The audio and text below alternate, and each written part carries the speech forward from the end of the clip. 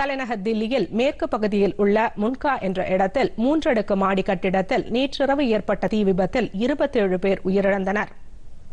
எழுபதுக்கும் மேற்பட்டோர் படுகாயங்களுடன் மீட்கப்பட்டு மருத்துவமனையில் அனுமதிக்கப்பட்டனர் முன்கா மெட்ரோ ரயில் நிலையம் அருகே உள்ள இந்த கட்டிடத்தில் கண்காணிப்பு கேமராக்கள் பொருத்தும் அலுவலகங்களும் கணினி உதிரி பாகங்கள் தயாரிக்கும் அலுவலகங்களும் செயல்பட்டு வந்ததாகவும் மாலை ஐந்து மணியளவில் தீப்பற்றியதாக கிடைத்த தகவலை அடுத்து தீயணைப்புத் துறையினர் விரைந்து சென்று தீயை அணைக்கும் பணியில் ஈடுபட்டதாகவும் காவல்துறையினர் தெரிவித்தனர் காயமடைந்தவர்களில் மேலும் சிலர் நிலைமை கவலைக்கிடமாக இருப்பதால் உயிரிழப்பு அதிகரிக்க வாய்ப்புள்ளதாக அவர்கள் கூறினர் அருகிலிருந்த கட்டடங்களுக்கும் தீ பரவியதால் அங்கிருந்தவர்கள் தீயில் சிக்கிக் கொண்டதாகவும் உடனடியாக அவர்களை தீயணைப்பு துறையினர் மீட்டதாகவும் காவல்துறை அதிகாரி ஒருவர் தெரிவித்தார்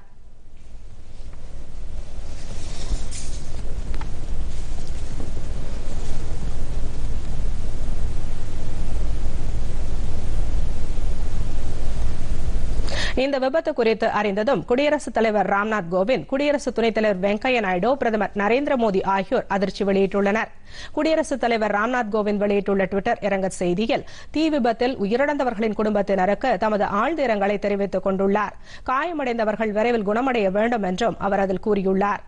குடியரசு துணைத் தலைவர் வெங்கையா நாயுடு வெளியிட்டுள்ள டுவிட்டர் இரங்கல் செய்தியில் முன்கா கட்டட தீ விபத்தில் பலர் உயிரிழந்த சம்பவம் வேதனை அளிப்பதாக குறிப்பிட்டுள்ளார் உயிரிழந்தவரின் குடும்பத்தினருக்கு இரங்கல் தெரிவிப்பதுடன் காயமடைந்தவர்கள் விரைவில் குணமடைய வேண்டிக் கொள்வதாக அவர் கூறியுள்ளார் பிரதமர் நரேந்திர மோடி தமது இரங்கல் பதிவில் தில்லி தீ விபத்தில் ஏற்பட்ட உயிரிழப்பு குறித்து வருத்தம் தெரிவிப்பதாக கூறியுள்ளார் உயிரிழந்தவர்களின் குடும்பங்களுக்கு இரங்கல் தெரிவித்ததுடன் காயமடைந்தவர்கள் விரைந்து குணமடைய வேண்டும் என விருப்பம் தெரிவித்துள்ளாா்